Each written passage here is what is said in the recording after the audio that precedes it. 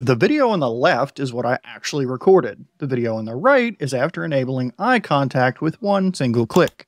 The AI magically rotated my eyeballs within their sockets so that I'm looking at the camera in the video rather than whatever my eyes were actually looking at when I recorded. And I have no idea what I was looking at in this section of the video where my eyes are completely off to the left. In this comparison, notice the difference that the AI eye contact made in the amount of glare that comes across on my eyeglasses. And here it even appears to have helped out with my wonky eye. Yes, I have a wonky eye where my eyes don't necessarily always work together. 3D movies don't do anything for me because one eye will work and the other one is just taking a nap or whatnot. But it looks like clicking eye contact on this video reformed that issue.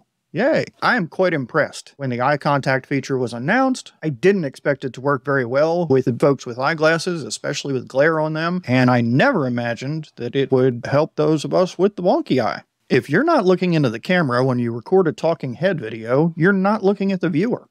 We make this error when we're trying to read a script or notes off of the screen, so the camera is recording us looking at something rather than putting us eye to eye with our audience. But most of us don't have the gift of being able to talk directly to the camera without having our message memorized, and who has time for that? Or using a script or at least some notes. We can use a teleprompter, but those contraptions are weird to set up and require a whole other skill set to use.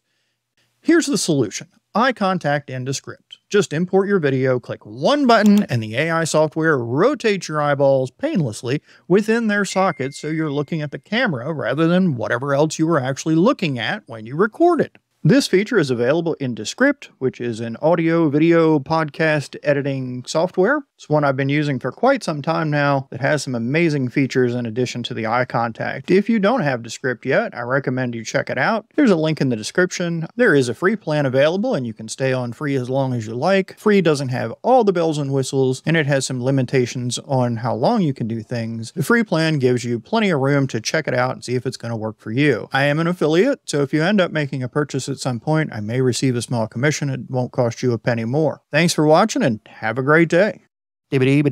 That's all.